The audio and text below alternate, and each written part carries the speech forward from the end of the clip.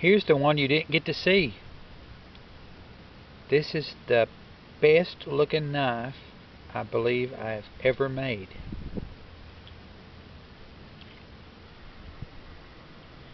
The butt cap, I burnished the wood to make it real dark to match the blade.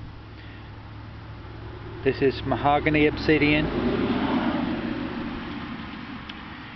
And the sheath matches the obsidian. All goes together.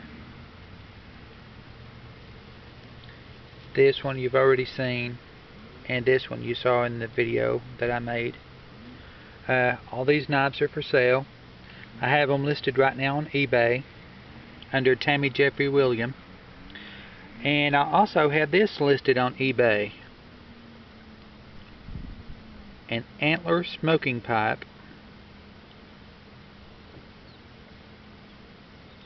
Has leather on the bottom, leather right there. Uh, has stainless steel inserts in it. It does not leak. I actually made this for me. I didn't make this to sell. But I put it on there to see what I could get out of it. Anyways, check them out, guys.